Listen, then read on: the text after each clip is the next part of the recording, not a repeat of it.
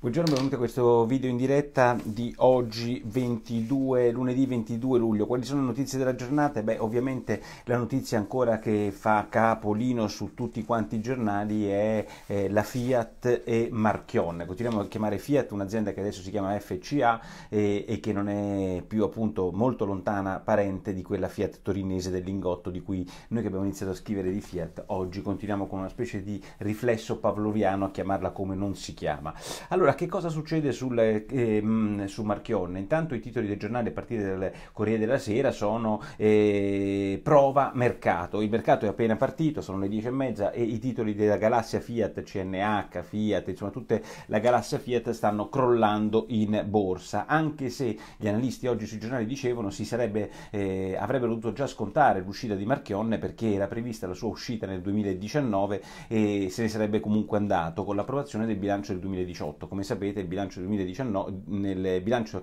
di ogni anno si approva l'anno dopo tra maggio, giugno e luglio. Dunque eh, era attesa dai mercati, anche se i mercati forse avrebbero sperato che Marchionne rimanesse ancora un po' in sella. Boccia, oggi intervistato dal Corriere della Sera, mi sembra da Dario Di Vico, più ridicolo del solito. Eh, ruppe con noi, aveva ragione. Beh, insomma, eh, quando Marchionne se ne andò via dalla Confindustria, Boccia era vicepresidente di quella Confindustria orribile di Emma Marcegaglia, quella Confindustria che iniziò il declino, la fine di, dell'associazione degli imprenditori in cui di fatto comandavano più Enel, Eni, cioè le grandi aziende pubbliche, di quanto contassero le aziende private. E adesso oggi piagnucola eh, Boccia, ruppe con noi, ma aveva ragione. Ma che aveva ragione? Aveva stra ragione perché quella Confindustria di ieri e di oggi rappresenta assolutamente nessuno. E anche quando dice delle cose ragionevoli come sul decreto dignità, ovviamente non le chiede più nessuno, per, la, per cui per la sua credibilità è pari a purtroppo zero. Ma la notizia del giorno in realtà su Marchionne,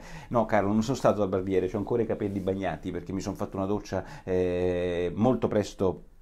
No, molto presto, mi sono, fatto, mi sono, svegliato molto presto, ho fatto la doccia eh, ora per svegliarmi ancora un po' di più. Allora, che cosa è la notizia del giorno? L'intervista a, alla lettera di Franzo Grande Stevens, che insieme a Gabetti gestirono la morte purtroppo di Umberto Agnelli e prima di lui dell'avvocato Agnelli, cioè sono i due custodi, i due tesorieri delle volontà della famiglia Agnelli, eh, che è stata costellata di grandissime tragedie, dalla morte di Giovannino, cioè il figlio di Umberto, alla morte dell'avvocato Agnelli, che non aveva mai guidato l'azienda azienda, ma suo sommato ne era il suo leader spirituale, alla morte di Umberto Agnelli, quando muore il fratello si sarebbe atteso invece la gestione di Umberto, e alla segnalazione, ricorda Franzo Grande Stevens, di eh, Marchionne da parte di Umberto Agnelli, che sul letto di morte dice prendete questo manager di SGS perché è riuscito con delle trovate straordinarie a rivoluzionare questa um, eh, società della logistica e della sicurezza svizzera. Ma la notizia la notizia di oggi di Franzo Grande Stevens è che l'unico in tutto il panorama dei giornali, compreso il giornale di famiglia La Stampa, che dice parla esplicitamente della malattia di Marchionne. Inutile che ci giriamo intorno, è la cosa che tutti si chiedono,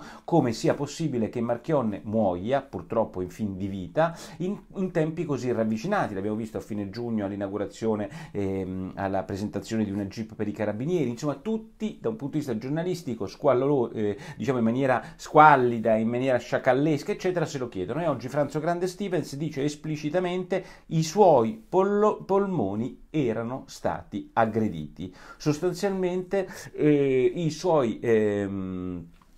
polmoni sono la causa del suo male, incapace di sottrarsi al fumo delle sigarette. E questo è quello che scrive eh, Franzo Grande Stevens, evidentemente facendo capire che la malattia, come qualcuno dice, è un tumore ai polmoni, anche se la sua velocità è del tutto inaspettata. Eh, CNH, Ferrari e FCA, lo vedete su tutti i giornali perché che cosa succede oggi eh, sugli altri eh, comparti del mm, mondo Agnelli, forse nessuno oggi ha notato ho messo insieme i puntini perché siamo tutti ovviamente colpiti dalla morte eh, annunciata, anche se non è eh, ancora avvenuta e tutti quanti pregano per questo uomo che sta lì, eh, come ha detto eh, El Khan, è l'unica cosa che possiamo fare. Beh, insomma, ehm, e non puoi dare una notizia se non ne hai la certezza. Difatti non abbiamo la certezza. Io ho letto Franzo Grande Stevens che ha detto che lui pensa che i polmoni siano stati aggrediti, anzi lo dà come dato di fatto. E, beh, comunque la, la, notizia che invece si può dare eh, è che CNH, cioè il Case New Holland, i trattori, le macchine agricole, la Ferrari, che tutti sapete non ho bisogno di spiegarvelo, e FCA, cioè le auto, sono tutte guidate da nuovi manager non italiani è una piccola eh, condizione di una grande multinazionale che non è riuscito a trovare un italiano per guidare queste tre grandi aziende del Made in Italy, soprattutto la Ferrari mi verrebbe da dire, non c'è un italiano. Eh, molto interessante l'intervista al ministro del tesoro, ex ministro del tesoro americano Larry Summers, un grandissimo pensatore economico, eh, ma quello che convinse Obama a vendere la Chrysler alla Fiat. Beh, insomma, interessante il suo punto di vista perché disse grazie a Marchionne, lo vede dal punto di vista degli americani, non abbiamo fatto fatto fallire la Chrysler, secondo me è la Chrysler che si è comprato la Fiat alla fine, ma la cosa fondamentale è che eh, non l'abbiamo fatta fallire la Chrysler e ehm, se fosse fallita la Chrysler, dice Larry Summers, ci sarebbero stati degli effetti catastrofici su Detroit nel 2009 e non solo, insomma ognuno ha le sue infelicità. Noi abbiamo la Fiat loro avevano la Chrysler, messi insieme due debolezze, evidentemente grazie a Marchionne non più tanto deboli sono diventate. Ehm, molti eh, eh, criticano i critici di Marchionne, eh, il gelo con il Movimento 5 Stelle titola libero e anche col governatore della Toscana Rossi che non è stato affatto gentile con lui. Bertinotti scrive, mi sembra su Repubblica, io ce l'ho non con l'uomo ma con il ruolo, perché è un altro di quelli che ce l'ha con Marchionne. Devo dire la verità che eh, tutti oggi che parlano bene di Marchionne sono, molto sempre, sono sempre gli stessi che oggi stanno per esempio incensiando il decreto dignità dignità, non so come dirvi, Marchionne è l'esempio, tant'è che molti operai e molti sindacalisti ce l'hanno con lui, della, di un metodo di lavoro non all'interno della Confindustria, fuori dai contratti collettivi eh, diciamo nazionali, che mh, mm, probabilmente tutti quelli che amano il decreto dignità dovrebbero aborrire. Eh, cosa succede eh, nella politica? Eh, nella politica è molto semplice quello che succede. Oggi quello che succede è l'intervista. No, non è morto Alvaro, eh, Alvara, non è morto, eh, è vivo, ma è in condizioni irreversibili, come purtroppo oggi hanno detto un po' tutti tutti. Eh, I sondaggi delle, eh, li fanno oggi, lo fa oggi il Corriere della Sera. Cosa succede sui sondaggi sulla politica? Beh, il dato sostanziale è che il Movimento 5 Stelle non perde quello che molti pensavano avesse perso governando in maniera un po' incillare rispetto alla Lega, sta al 31,5%, quindi ancora fortissimo il Movimento 5 Stelle, se non eh, direi che è ancora il primo partito, un punticino meno delle ultime elezioni del 4 marzo. La Lega è impressionante perché sale al 31%, quindi la Lega ha raddoppiato i suoi voti rispetto a soltanto l'inizio marzo del 2018. Insomma, la cura Salvini dal punto di vista della propaganda, ma non solo dell'efficacia delle sue evidentemente azioni, piace agli italiani. Crolla dimezzata Forza Italia, 7,7%. Beh, se Forza Italia non sta bene, non se la passa meglio il partito della Meloni, che relativamente sta meglio perché è al 3%, quindi perde meno di quanto perde Forza Italia, ma vi ricordo che sotto al 4% con la attuale legge elettorale non si ha rappresentanza in Parlamento, quindi sta malissimo, devo dire tra tutti e due non so chi stia peggio, non so chi dei due si possa leccare le ferite di più. Il PD perde circa due punti percentuali perché sta al 17%, il dato fondamentale è che il centrodestra unito avrebbe, dice il giornale del, mm, eh, di Milano, avrebbe il 41% rispetto al 31% del Movimento 5 Stelle. Secondo l'attuale legge elettorale un distacco del 10% non è sufficiente a dare la maggioranza assoluta in Parlamento. Ultime due o tre notizie perché siamo oggi ehm, poca, po, poca ciccia come spesso avviene lunedì. Intervista a Salvini oggi sul Corriere della Sera che dice che la rivoluzione fiscale si farà con la manovra, quindi pace fiscale, riduzione delle tasse e lui stesso cita... Ehm,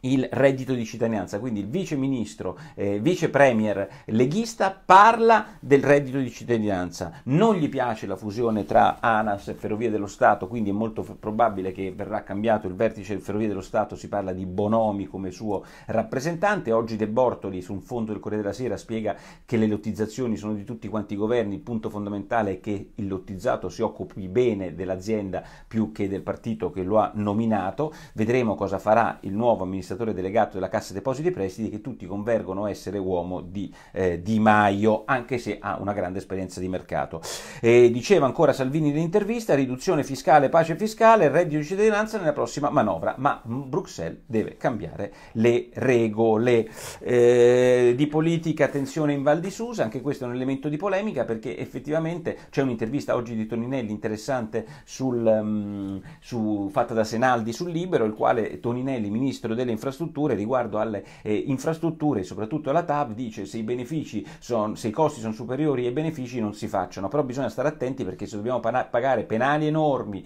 e comunque è difficile arretrare la macchina, mi sembra oggi dal, dall'orientamento dell'intervista eh, Toninelli orientato suo malgrado a continuare con le grandi opere. Questo però ha creato polemiche in Val di Susa perché ieri ci sono stati scontri e soltanto eh, eh, Salvini con un tweet ha dato solidarietà alle forze dell'ordine che sono come sempre eh, bersagliate dalle attenzioni poco gentili da questi no-TAV. Ehm, beh, fantastico, uno studio di Harvard, l'ho trovato mi sembra sul Corriere o sulla stampa, secondo l'università americana ehm, gli open space dove tutti noi siamo stati condannati a lavorare negli ultimi dieci anni non solo non servono a nulla, ma distraggono eh, e rendono meno comunicative le persone che si mandano messaggi via mail o, o WhatsApp perché non riescono a comunicare, nonostante l'idea degli open space in ufficio serva proprio alla maggiore comunicazione. Le minchiate che si inventano i burocrati e gli ingegneri sociali che poi quando si parla di cose concrete non si realizzano. Molto felice della vittoria, ne parlano alcuni giornali, mi sembra anche Repubblica ce l'abbia in prima pagina, ce l'ha certamente il giornale, c'è una foto, una bella foto forse sulla stampa di Francesco Molinari, il trentenne italiano che per la prima volta nella storia del golf mondiale vede un italiano vincere un Open Championship. Lo vince nel, in uno dei circuiti storici del golf mondiale in Scozia. Il golf è uno degli sport più ricchi del mondo in cui l'Italia devo dire che non, ma, non ha mai brillato. E Molinari vince la prima volta, è una cosa che mi fa molto piacere, ha chiuso l'ultimo giro, cioè sostanzialmente l'ultima partita a meno 8, risultato eccezionale, e comunque il suo, il suo mental coach, perché ormai per vincere a golf ci vuole un mental coach, uno che ti guida non solo nello swing, ma ti guidi anche nella testa, che cosa gli ha detto? Ed è stata la chiave di volta, secondo Molinari, per vincere il, ehm, il tuo le, il, il, nessuno può farti sentire inferiore senza il tuo consenso. Nessuno può farti sentire inferiore senza il tuo consenso, il motivo per il quale lui non si è sentito inferiore a giganti tipo Rory, tipo Tiger Woods e ha vinto per la prima volta un trofeo che mai era arrivato agli italiani. Poco altro sui giornali, a mio avviso, e come spesso avviene il lunedì, io vi do appuntamento come sempre al sito nicolaporro.it per tutte le informazioni sulla giornata e sulla politica e se vi piace questa zuppa condividetela. Ciao!